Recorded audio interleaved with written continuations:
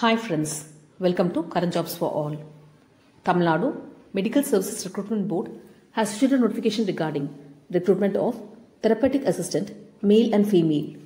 There are a total of 38 vacancies each for therapeutic assistant, male and therapeutic assistant, female.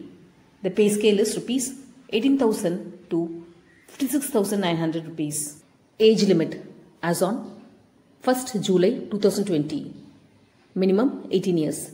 Maximum 30 years for OC candidates and 58 years for SC, ST, BC, BCM, MBC and DNC candidates. Educational qualification required is a two and a half years course diploma in nursing therapy awarded by the Directorate of Indian Medicine and Homeopathy.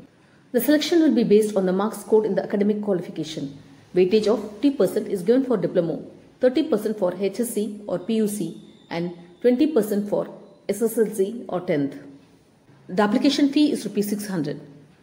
It is rupees 300 for the candidates belonging to the category SC, SCA, ST, DAPPH or DW. Interested and eligible candidates can visit the MRB website and apply on or before 24th December 2020. Hope you find this video useful. If so, please like, comment, share and subscribe. We will meet with new information. Thanks for watching.